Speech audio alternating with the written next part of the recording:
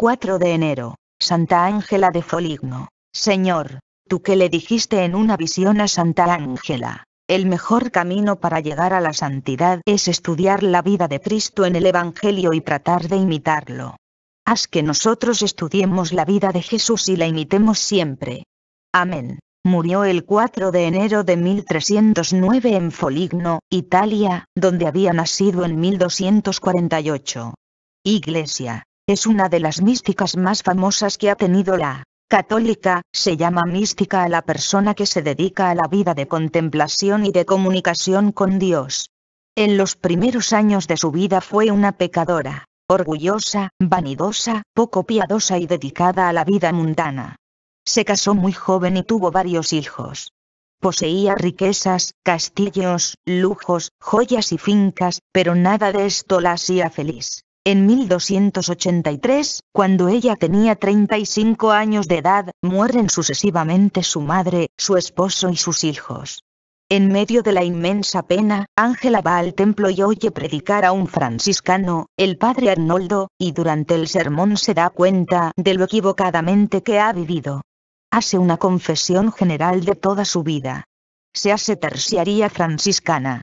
Va en peregrinación a Asís, y San Francisco en una visión le dice que es necesario hacer dos cosas muy importantes. Vender todo lo que tiene, darlo a los pobres, y dedicarse a meditar en la pasión de nuestro Señor Jesucristo. Así lo hace. Lo vende todo, menos un castillo o palacio que estima muchísimo hasta que en una visión oye decir a Cristo crucificado, y por amor a tu Redentor no serás capaz de sacrificar también tu palacio preferido. Lo vende también y todo el dinero recogido lo distribuye entre los pobres.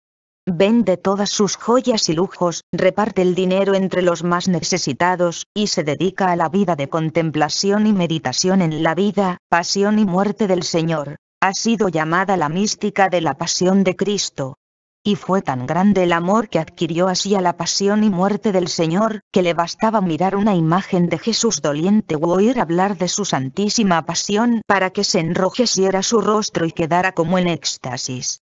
En visiones se la puede comparar a Santa Teresa y a Santa Catalina. Al padre Arnoldo le dictó su autobiografía. En ella dice lo siguiente, yo, Ángela de Foligno, tuve que atravesar muchas etapas en el camino de la penitencia o conversión. La primera fue convencerme de lo grave y dañoso que es el pecado. La segunda el sentir arrepentimiento y vergüenza de haber ofendido al buen Dios. La tercera hacer confesión de todos mis pecados.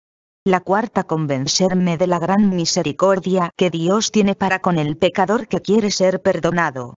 La quinta el ir adquiriendo un gran amor y estimación por todo lo que Cristo sufrió por nosotros. La sexta adquirir un amor por Jesús Eucaristía.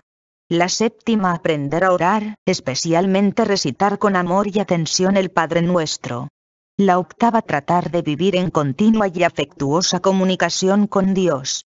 En la Santa Misa veía muchas veces a Jesucristo en la Santa Hostia. A su alrededor se reunía frecuentemente un selecto grupo de hombres y mujeres, terciarios franciscanos, a los cuales fue bendiciendo uno por uno como una madre cariñosa, la tarde del 4 de enero de 1309, y luego santamente y en gran paz, su alma voló a la eternidad. Sobre su sepulcro se han obrado innumerables milagros.